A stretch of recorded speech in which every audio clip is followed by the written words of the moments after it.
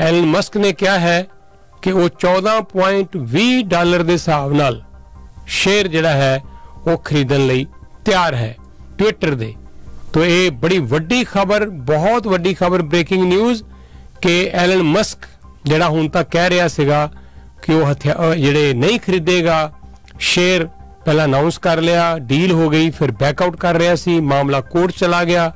Court 'ਚ ਹਜੇ ਮਾਮਲਾ ਚੱਲਣਾ ਹੀ ਸੀ, ਉਸ ਤੋਂ ਪਹਿਲਾਂ ਹੀ ਇਹ ਗੱਲ ਪਤਾ ਲੱਗੀ ਹੈ ਕਿ 54 ਡਾਲਰ ਤੇ 20 ਸੈਂਟ ਪਰ ਸ਼ੇਅਰ ਦੇ ਹਿਸਾਬ ਨਾਲ ਟਵਿੱਟਰ ਦੇ ਸ਼ੇਅਰ ਜਿਹੜੇ ਆ ਉਹ ਖਰੀਦਣ ਜਾ ਰਿਹਾ ਹੈ ਐਲਨ ਮਸਕ ਤੋਂ।